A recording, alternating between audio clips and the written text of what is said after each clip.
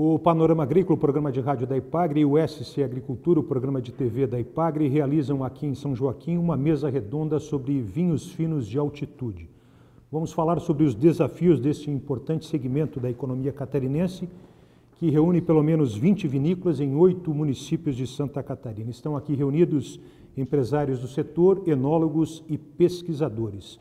Neste primeiro bloco, vamos falar sobre o presente da vitivinicultura na região, o cenário atual. Conosco para falar sobre este assunto, Eduardo Bassetti, engenheiro químico, empresário da Világio Bassetti, e João Felipeto, pesquisador da Estação Experimental da IPAGRE de São Joaquim, enólogo. Começando por João Felipeto. Qual é o cenário atual da vitivinicultura aqui em São Joaquim, das pesquisas, dos projetos? Olha, Mauro, o cenário é o mais promissor possível em termos de vitivinicultura.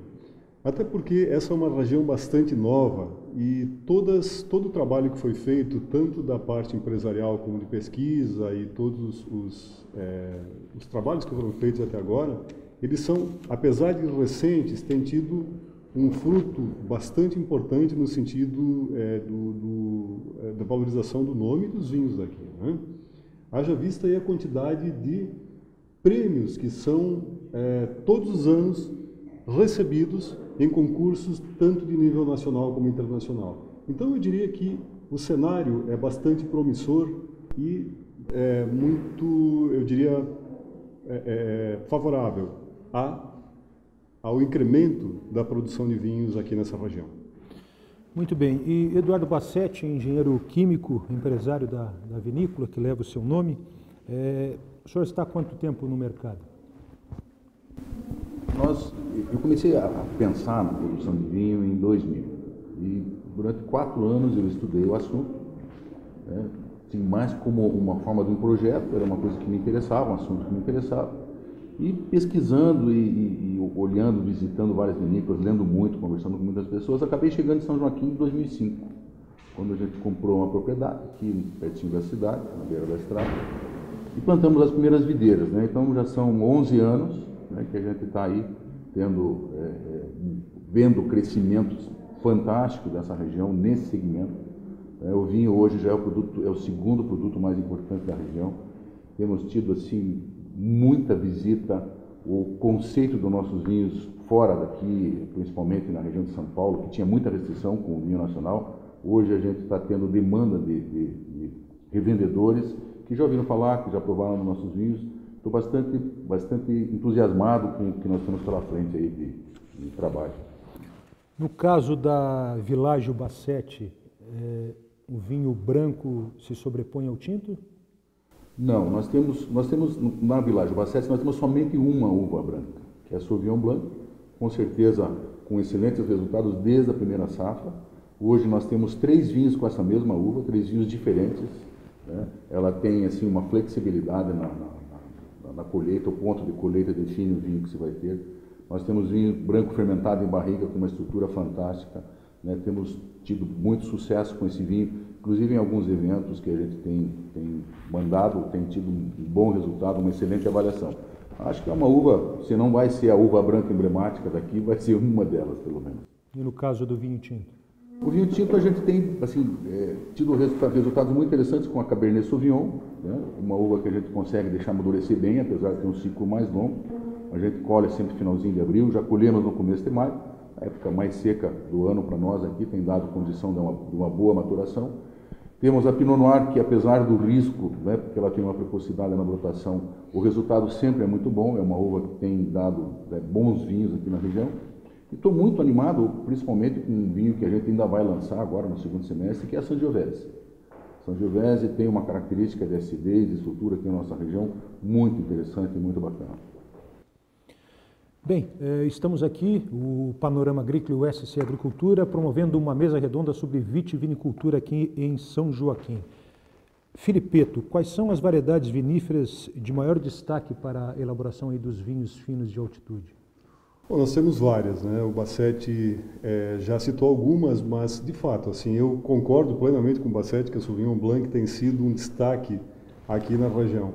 É uma uva emblemática da Nova Zelândia, né? mas eu diria que se nós provarmos um vinho da Nova Zelândia em comparação, numa degustação às cegas com, com os nossos, tenho certeza que não perde muito em termos de qualidade e em termos de estrutura, corpo, enfim, o, a Sauvignon Blanc é uma promessa aqui para a região.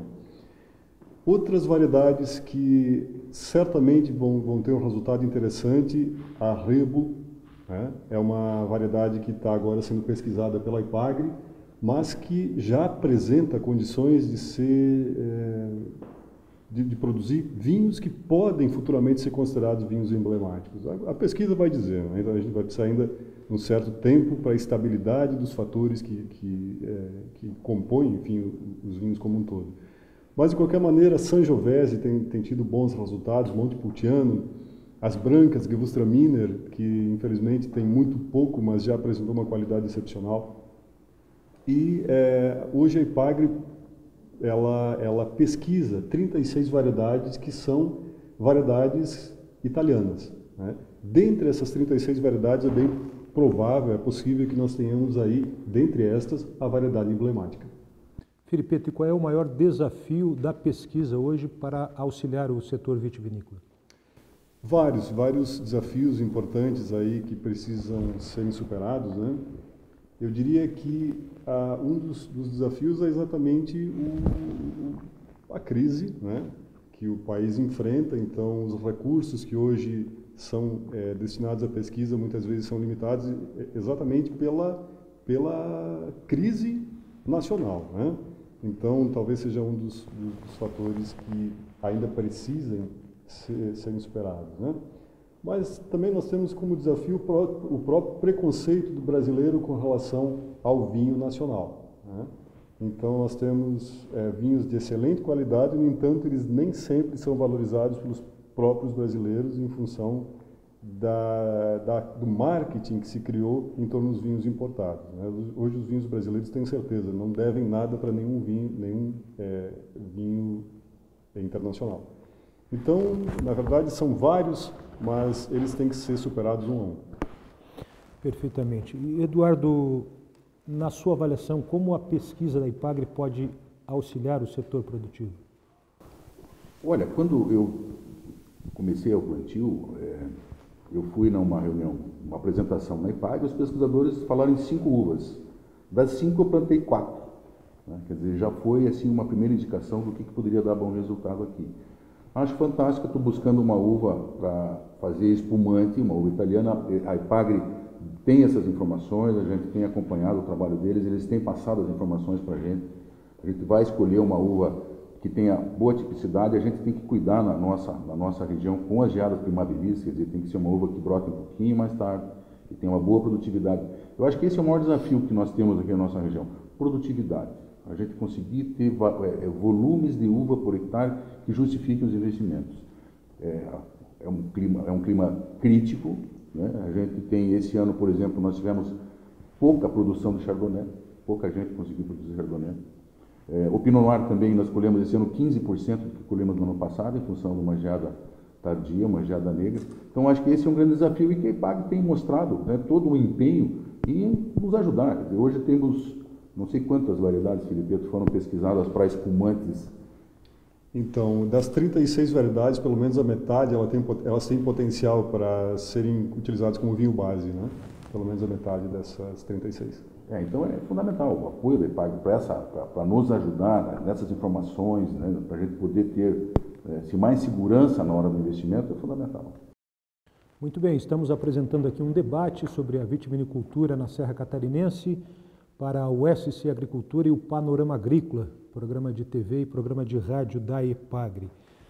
No caso das regiões produtoras de vinhos finos de altitude aqui em Santa Catarina, São Joaquim é destaque, Felipeto, mas alguma outra região que também produz?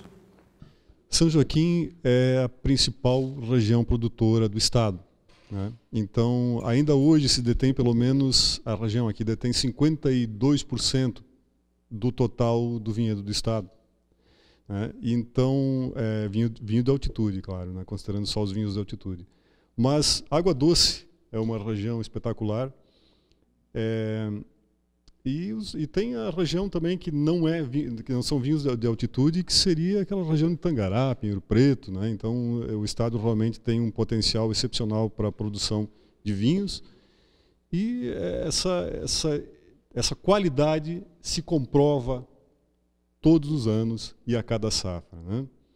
É, também a região de Videira, então tem, tem realmente regiões bem importantes. Mas São Joaquim, o Planalto Sul, vamos dizer, o Planalto Sul de Santa Catarina, é a região que atualmente recebe mais investimentos nessa área de vitivinicultura de vinhos finos.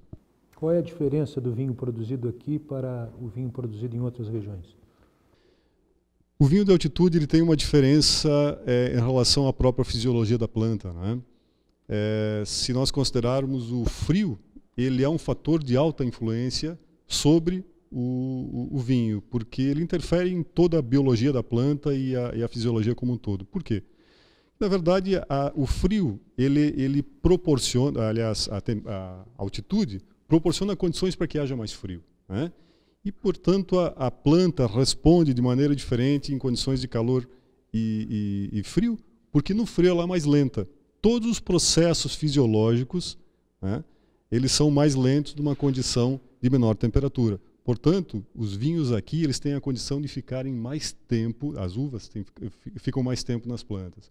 Portanto, o vinho passa a ter mais precursores de aromas, mais polifenóis, antocianas, inclusive a capacidade nutracêutica, aquela capacidade de é, é, ter um benefício para a saúde. o vinho é um, elemento, é um, é um alimento funcional. Né? Só não é em alguns países, como o Brasil, por exemplo, mas existem países que consideram o vinho como um, um um alimento funcional. Portanto, os polifenóis presentes, especialmente nos vinhos de altitude, são realmente é, é, em, estão em, em maiores quantidades do que aqueles produzidos a nível do mar ou em regiões mais baixas. Portanto, esse é o diferencial. O corpo do vinho, a estrutura dele, a, a, o volume de boca, isso é só conseguido nos, na, nas a, regiões de altitude, portanto, regiões mais frias o, a uva mais tempo na videira e também o vinho mais tempo nos barris de carvalho? Exato, porque na verdade assim o tempo que ela precisa é, para completar todo o ciclo até o vinho ficar pronto para o consumo realmente precisa do envelhecimento tanto em caves como em barricas de carvalho. Nem todo vinho passa por barris de carvalho, mas de qualquer maneira a grande maioria desses vinhos de altitude eles precisam de muito mais tempo de cave. Portanto, são vinhos considerados vinhos de guarda. Mas a harmonização desses vinhos é melhor também no que se refere à, harmonização com carnes, por exemplo, né? ou pratos mais condimentados, mesmo sendo peixes. Né?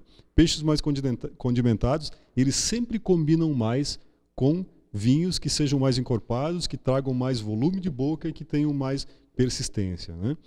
Então essas duas coisas são, são verdade.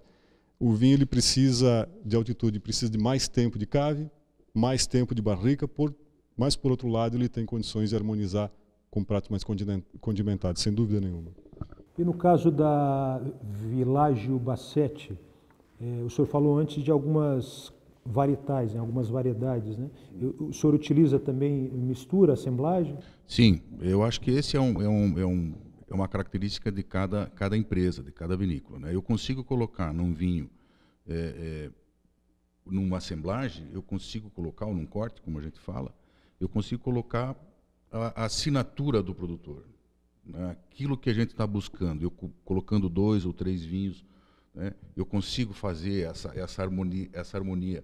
Um agrega mais cor, outro agrega mais acidez, que aliás é uma tipicidade dos vinhos de altitude, tem uma acidez bastante exuberante, né? suculentos que são. Então, eu acho que o corte, lógico, você vai fazer um Pinot Noir, você faz só com Pinot Noir. Né? Mas, no caso dos brancos, nós temos só, só a Sauvignon Blanc. Mas nós temos um tinto que é corte de Cabernet com Merlot. No próprio Sangiovese, você também agrega algum pouquinho quando você coloca um Cabernet ou coloca um Merlot. Depende da, daquela safra, depende daquele ano, você faz o teu corte e você mantém o teu vinho dentro de um padrão.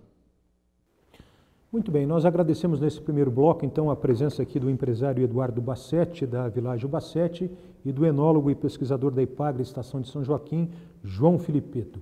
Panorama Agrícola e o SC Agricultura, em seguida, farão um segundo bloco sobre a vitivinicultura aqui na região de São Joaquim.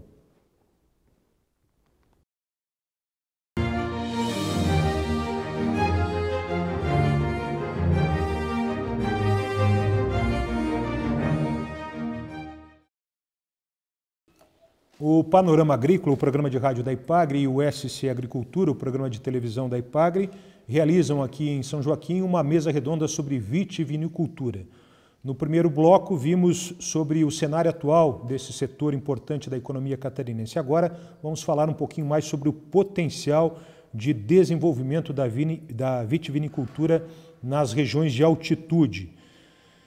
Estão aqui conosco João Filipeto, enólogo e pesquisador da Estação Experimental da Epagre em São Joaquim, Saul Bianco, empresário da vinícola Leone de Venezia, que gentilmente está cedendo espaço para essa mesa redonda. Estamos aqui na sua vinícola. O Saul Bianco também é engenheiro agrônomo. E estamos também com os enólogos aqui à minha esquerda da Vila Francione, Ney Razeira, que também é gerente da vinícola, e Joelmir Grassi, enólogo da Világio Bassetti. Uma pergunta introdutória que os senhores podem ficar à disposição para, para comentar é sobre, em termos agronômicos, qual é o maior potencial é, das viníferas aqui na região? Podemos talvez começar pelo João Filipeto. Olha, as todas as viníferas que até agora foram é, testadas por aqui, que participaram das pesquisas, têm tido uma. É, uma nós, te, nós temos surpresas muito boas né, em praticamente todas elas. Muito poucas viníferas elas foram descartadas exatamente por não terem potencial de produção ou não terem algum atributo enológico que, que é, definisse o vinho como qualitativo. No entanto, o que nós percebemos é que aquelas que foram testadas em parceria com a Itália e também algumas que já naturalmente foram trazidas pelos é, primeiros produtores é, de, de, vinhos, né? elas têm tido uma, uma, uma qualificação espetacular. Então, os vinhos produzidos através dessas variedades têm tido uma aceitação muito boa no mercado. É, de qualquer maneira, assim, é claro que as pesquisas continuam andando, nós temos vários é, projetos em andamento, e o que nós precisamos é que elas sejam estáveis ao longo do tempo, ou seja, que elas adquiram aquelas características que realmente têm aceitação adequada pelo consumidor. Ah, os, os passos foram dados, né? nós temos aí várias é, já consagradas, haja vista, como foi dito, aí as medalhas que foram conquistadas ao longo do tempo, tanto no concurso mundial de Bruxelas, concursos de nível internacional, Expovines. Né? Nós temos o top 10, normalmente, dos vinhos aqui da região, especialmente brancos. Né? Então, eu, eu tenho certeza que nos próximos anos aí nós vamos ter uma, uma grata surpresa em termos de qualidade dos vinhos finos de altitude de Santa Catarina. Muito bem. No caso da Vila Francione Ney Razeira, qual é o principal desafio hoje? Cada safra é uma nova safra, então o que uh, se, se, aplicou na safra anterior, norma, talvez não se aplique nessa.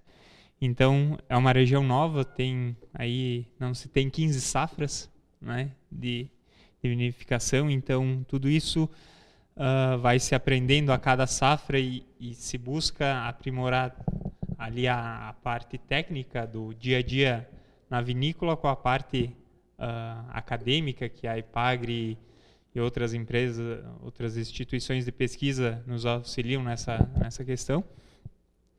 Você vê assim que variedades que têm um ciclo mais curto, que elas brotam mais tarde e são colhidas mais cedo, têm um potencial maior nessa questão de estabilidade de produção, de ter constância de produção, como é a Sauvignon Blanc, como é a Malbec, como é a Sangiovese né, que são variedades que se consegue ter uma estabilidade de produção ao longo do, dos anos, tanto em quantidade e principalmente em qualidade também. Né? Então essa uh, ne, nesse sentido, né, que se, se busca uh, aprimorar cada vez mais o, os trabalhos tanto a nível de campo quanto a nível de, de vinícola.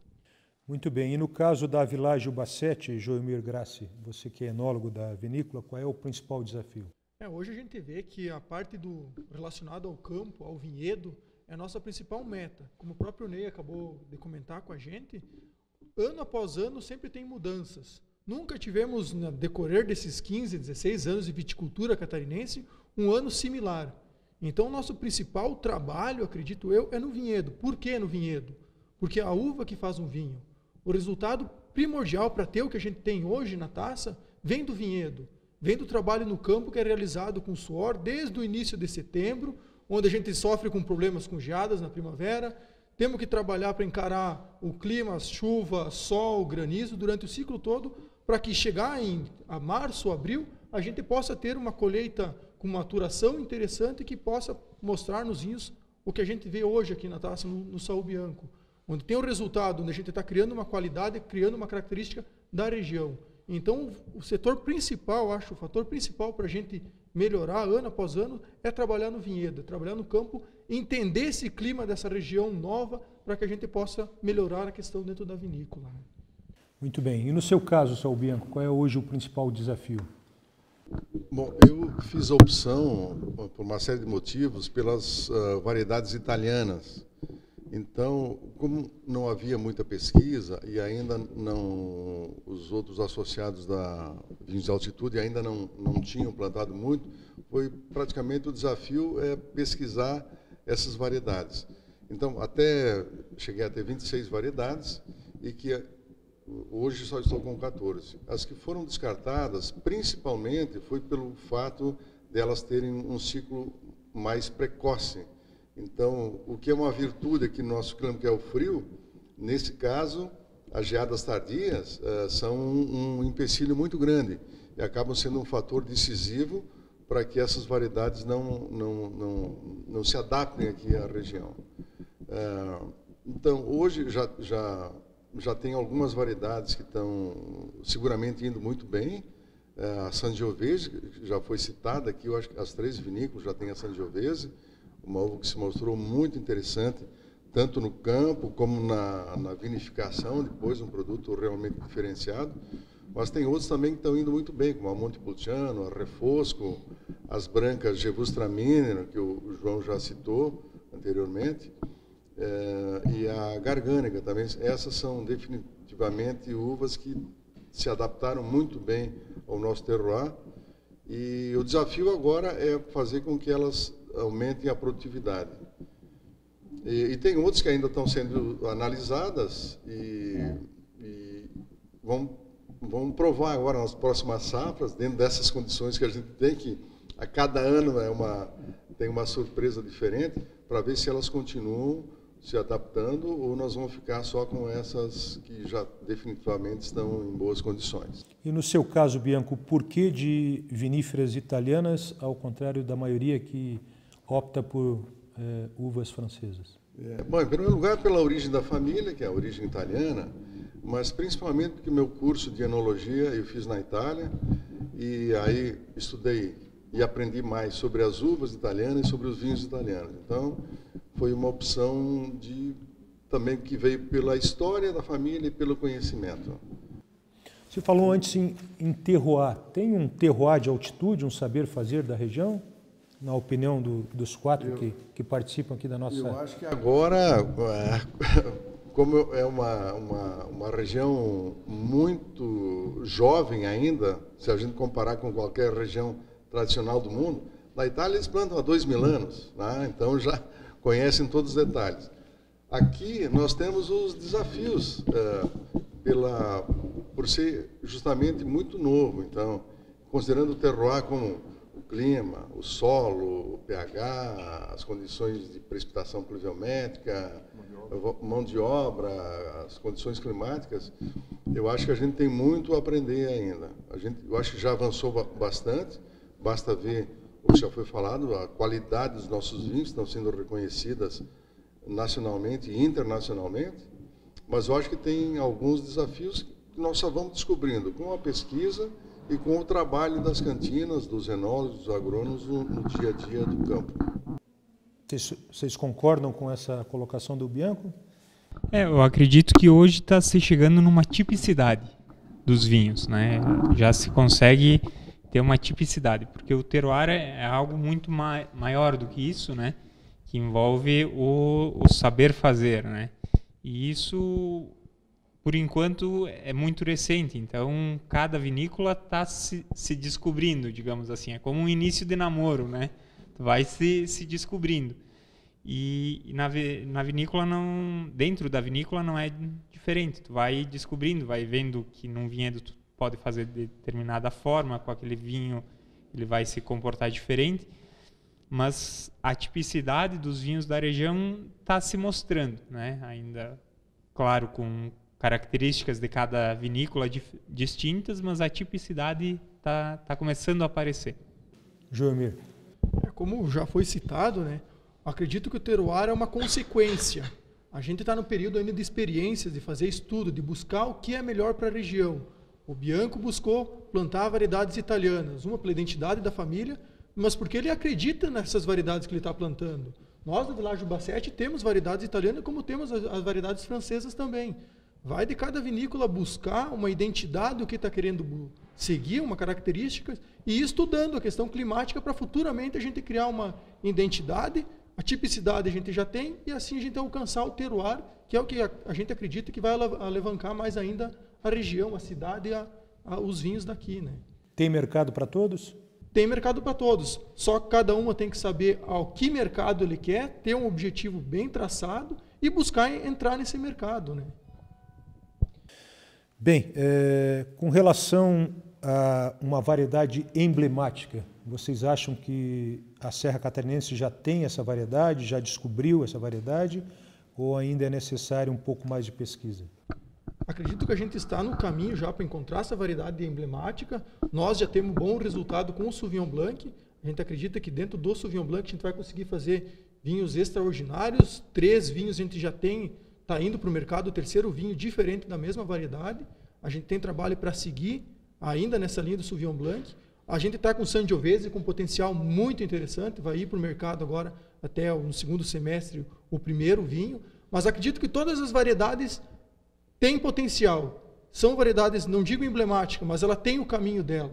Vai de você estudar, aprender, buscar a adaptação correta dela e fazer um belo trabalho. Conhecer a característica da variedade e se enquadrar no nosso clima. Né? Todas elas têm uma característica muito agradável, muito interessante. Vai da gente buscar um trabalho, realizar, fazer com cuidado, com carinho, que acredito que o resultado vai aparecer na taça. Claro que tem umas que definitivamente a gente não tem como ficar batendo na mesma tecla devido a várias safras com problema, mas acredito que grande maioria das variedades que está no mercado, tanto Cabernet como Merlot, Sauvignon Blanc, Sangiovese, Pinot Noir, o Bianco aqui tem resultado fantástico com a Montepulciano, a própria Garganega, a Syrah, a Malbec, só vai da gente ir se enquadrando nesse na característica de cada variedade, buscando o que cada vinícola quer dentro do clima, dentro da condição. Porque cada clima de vinícola é totalmente diferente. A Leone de Venezia tem uma característica de clima, o Világio Bassetti tem outra, a Vila Francione tem outra. Vai da gente trabalhar cada um na sua característica, na sua origem, buscar o, o tipo de vinho que está tá querendo entrar no mercado. Já que você citou na, a variedade Malbec, eu vou insistir no assunto da variedade emblemática aqui para, para a Serra Catarinense, para os vinhos finos de altitude, porque o Malbec produzido aqui é, serve para assemblagem, né? Não, não, não tem um... Sim, com certeza. Não tem uma, uma variedade Malbec varietal, exclusivamente, né? Um varietal, né? Porque o Malbec aqui jamais vai concorrer com o Malbec de Mendoza, Argentina. Ou se espera Acredito que são duas coisas diferentes. Sim. A gente consegue fazer o Malbec muito bem, propriamente com varietal, mas hoje o resultado, o trabalho que a gente tem, ele se enquadra mais para um corte devido à estrutura para agregar valor aos demais vinhos. Não que possa deixar de não vou fazer um varietal. Não, pode ser feito um bom varietal, mas acredito que com os cortes vai equilibrando o potencial da Malbec com o potencial da Cabernet, com da Merlot, com da Syrah e assim por diante. Todas elas vão se somando para a gente conseguir encontrar uma característica para um vinho de qualidade, né? para ter um bom resultado na taça no final. Não digo que não possa se tornar uma, uma variedade emblemática como um vinho varietal, mas hoje a gente está com um bom resultado para se somar nas outras variedades que a gente já tem hoje. Né? A sua opinião, Bianco, sobre esse assunto, uma uva emblemática para a região? Eu acho que é uma coisa que vai, vai, demorar um pouco. Esse estudo eu acho que vai demorar um pouco, porque, como eu falei antes, a, região é muito jovem ainda e a gente tem uma, um leque muito grande de variedades francesas, italianas. É, Mas eu acho que isso até não é o mais importante. O mais importante é a gente achar uma, um, um, uma tipicidade, que já foi falada aqui, é, que seja do terroir de altitude aqui da Serra Catarinense. Isso eu acho que é uma coisa mais importante do que achar propriamente uma uva emblemática. Isso eu acho que pode demorar. Eu acho que um avanço que nós vamos dar muito grande é a, a busca da denominação de origem um trabalho que nós vamos começar agora com a Embrapa o Vivinho, a IPAGRE, as universidades de, de Florianópolis e Lages, e fazer um trabalho importante para conseguir uma denominação de origem. Eu acho que isso valoriza todos os nossos vinhos.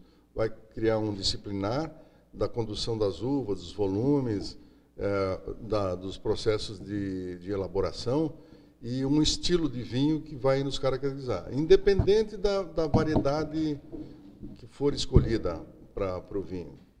Você concorda, Ney? Concordo. Uh, uma que, para ser uma variedade emblemática, tem, eu acho que é muito mais importante vir do consumidor para o produtor do que o produtor tentar uh, colocar isso para o mercado. Ó, ou a associação de produtores aqui dizer ó, a Malbec ou a Sangiovese ou qualquer outra variedade é a nossa variedade emblemática. Não, eu acho que o consumidor tem que dizer, ó, uh, isso vai ao longo dos anos, em função de volumes de produção, de, de todas as vinícolas ter aquela variedade, que hoje é muito difícil também, né? então vale muito mais isso. Uh, que nem o Bianco comentou, essa busca por produtos de qualidade de todas as empresas, para que a, a região seja reconhecida como uma região de, de produtos de qualidade, né? e que o consumidor consiga uh, perceber isso. Né? Isso também é, é, muito importante. Não adianta somente a, a parte técnica uh, dizer oh, os produtos são muito bons e, e o, a parte comercial não, não responder nesse sentido. Então, vai, vai ao longo dos anos, o mercado vai nos dizendo também um pouco a, a que caminhos devemos seguir. Para encerrar, Filipeto, a ideia é essa? Uh, o consumidor decide ou a pesquisa indica qual a melhor variedade? Sem dúvida, acho que foi colocado com muita propriedade aqui pelos componentes da mesa. A, a variedade, a, o, os vinhos varietais, eles só ganham a capacidade emblemática quando realmente eles têm o, o respaldo do consumidor. Então, na verdade, é o consumidor que dita a regra sobre qual vinho que precisa ser tomado ou não, em, em, função exatamente daquela variedade. Mas no que se refere à varietal em si, na verdade, isso é, um, é, um, é uma moda uh, americana. Né? Então, no final dos anos 80 é que se iniciou a, a questão do, dos varietais. Na verdade, isso, de forma é, constante na história, sempre foram elaborados assemblagens, especialmente na França. Então, diferentes safras, diferentes variedades que, que, que, que fariam, então, nesse caso é, do, do, do, da assemblagem, a composição do vinho que teria maior harmonia. A partir dos anos 80 é que é, o, o, americano e também outros, uh, eles, na, na, verdade o americano de certa maneira dita as regras uh, mundiais, né? Então é, é, ficou é, é, decidido que por eles os varietais, é, ou, ou, seja, vinhos que eram produzidos com uma única variedade, com uma única variedade né, eles iriam para o mercado e ganhariam aquele consumidor. É, isso é uma coisa muito relativa. Eu acho que foi colocado com muita propriedade, especialmente quando o Bianco diz não, o que nós temos que fazer é buscar realmente os produtos da região, é fazer uma harmonização desses produtos, então compor um vinho que possa ser considerado esse é o vinho é, fino de altitude da região de Santa Catarina. Não necessariamente do, é, varietal, mas se essa proposta for também de uma variedade que se sobrepuser às outras em termos de qualidade, é claro que a, o varietal também vale. Em última análise, o consumidor é que manda. Né? E nós temos que respeitar: o vinho não foi feito para técnicos, não foi feito para empresários, o vinho foi feito para o consumidor. E se o consumidor decidir por aquela marca ou aquela variedade, isso é que conta. Muito bem, nós agradecemos aqui a participação, então, nesse debate, nessa mesa redonda aqui em São Joaquim sobre vitivinicultura, vinhos finos de altitude. Agradecemos a participação no SC Agricultura e no Panorama Agrícola do enólogo e pesquisador João Filipeto, também do empresário Saul Bianco, engenheiro agrônomo, e dos enólogos da Vila Francione, Ney Razeira, e da Világio Bazete, Joemir Grassi. Muito obrigado a todos pela participação aqui no nosso programa.